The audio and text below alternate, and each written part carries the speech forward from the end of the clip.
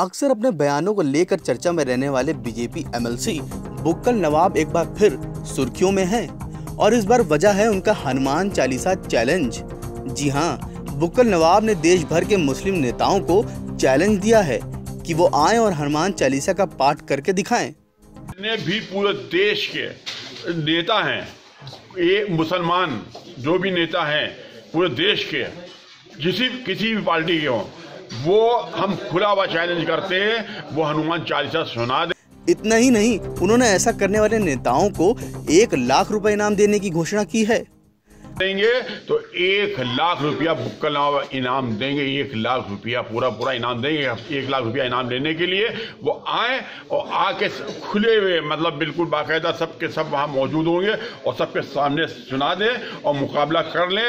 ईश्वर चाहेगा, बजरंग बली चाहेंगे पवन पुत्र चाहेंगे तो बुक्कल नवाब की जय उस वक्त भी होगी। दरअसल, बुक्कल नवाब ने आज एक निजी होटल में पत्रकारों के सामने हनुमान चालीसा का पाठ करके सुनाया। कि जो नाथ हृदय मुँह डेरा एक पवन तरे संकट हरण मंगल मूरत रूप, पवन राम लखन सीता सहित हृदय बसु स्वरूप एक एक उसमें चौपाई, एक रह गई थी उसमें, चारों जुग प्रताप तुम्हारा।